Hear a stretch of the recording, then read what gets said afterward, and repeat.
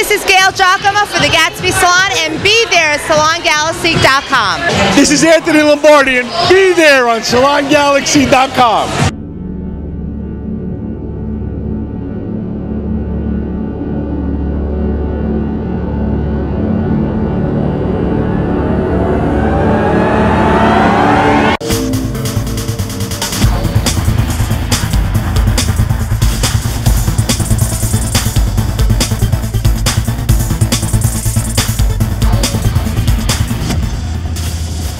Olivia told me that she thinks that um, New Jersey is the love child of Philadelphia and New York. What do you think of that?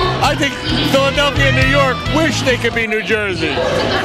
Now, I, I actually lied. She didn't say that. No? And no, You she- said that? I said that. Oh. I want to first talk about this. This is important to me. On SalonGalaxy.com, it's a professional beauty industry site. Now, with all this hype you have about Jerseylicious and that cat and mouse stuff, and everybody's fighting with everybody, the fact is this: you guys both run a successful salon.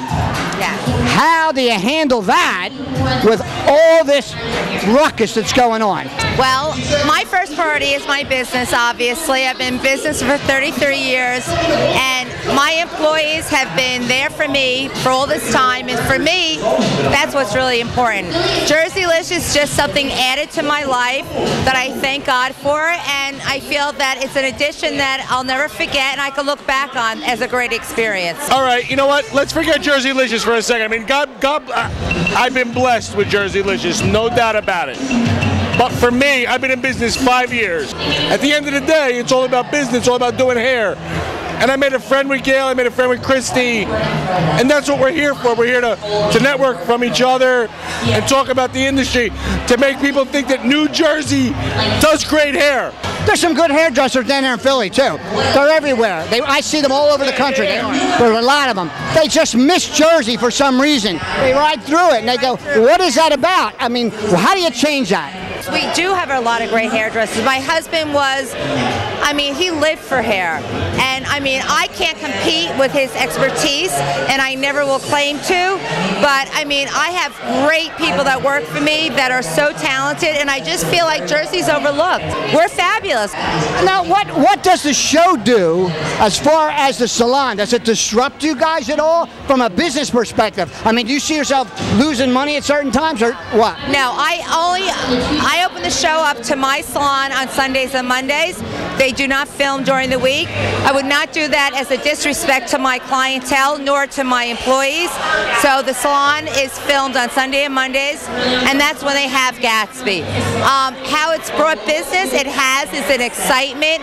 People are looking for it. They love the drama. I just wish a little more that people would experience the really the expertise of my salon as hairdressers, not just for the drama. They're not just two reality stars. They're two hairdressers. They work for in the industry just like we do. You and I. We're all professionals in this industry. Anthony's working his salon. Gayle's working her salon. They're trying to make a living. So the question is this: You're not really counting on Jerseylicious to get retirement money. No, no, no.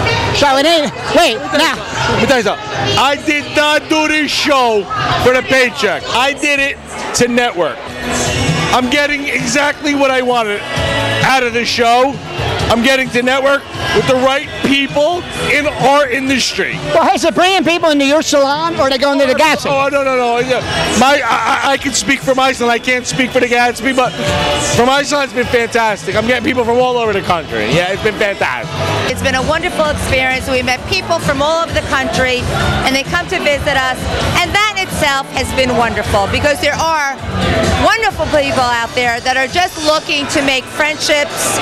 I mean, to me, that's wonderful. But for repeat business, you're not going to get it from a show. You just said friendships. Yeah. What's all this fighting going on in the Gatsby? We don't fight. No, you don't fight. don't fight. But I'm seeing all these cats going meow, meow. You know what? It's all about the kids. They're all about drama and growing up. They're young. They don't. They're young. Shut up. No, they don't know what it really is. Can you shut them them up. The industry has changed. You know what? It is a dying breed and anything. I think children today, it's different. I mean, you're very lucky. You know what? You really got to work hard. If you think it's just going to come to you, you're it's wrong. I mean, to get where you're going to get in life with hairstyling, you really have to work hard, go to classes, and you can't think you know everything because I've been in business 33 years, and you know what? I'm still out there to learn. If hairstyling is your passion, stay with it. No matter what anybody tells you, even if they tell you you're not the greatest hairstylist in the world, if it's your passion, stay with it. Take classes, do advanced education, and grab onto somebody who's been there and knows what they're doing, and keep pushing forward. Do it. If it's your passion, keep with it. You're going to be great. I love that. It's all creativity. It's all all right. creativity. Stay in here. Come in close. SalonGalaxy.com here with Anthony Lombardi and Gayle DiGiacomo. Oh, yo, Giacomo. Giacomo. No, I'm. Oh, you're drinking too much vodka tonight? I know.